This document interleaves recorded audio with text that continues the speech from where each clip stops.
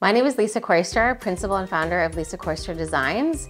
And we have a common question that is often asked to us, what is the best flooring?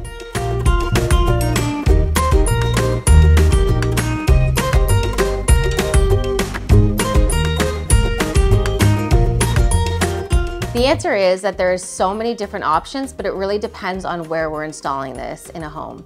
So is it going in an area that needs to be water resistant, waterproof? There's also, you know, is there pets, children involved, and, and also budget. You know, what is the budget and where overall is this going in an interior space? When it comes to areas that could have high traffic or potential water exposure, we really like to gear our clients into a high-end LVT vinyl due to its high durability. With busy households and children and dogs, we like to recommend two types of flooring either an engineered hardwood or a carpeting, which is more of a synthetic fabric. When it comes to engineered flooring, you can put this throughout any application in a home.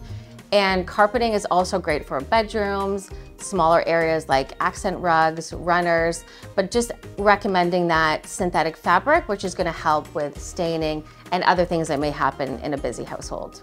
So when we have people asking us what's the best flooring, we really have to ask back, how is it going to be used and how are people going to be installing it into their application?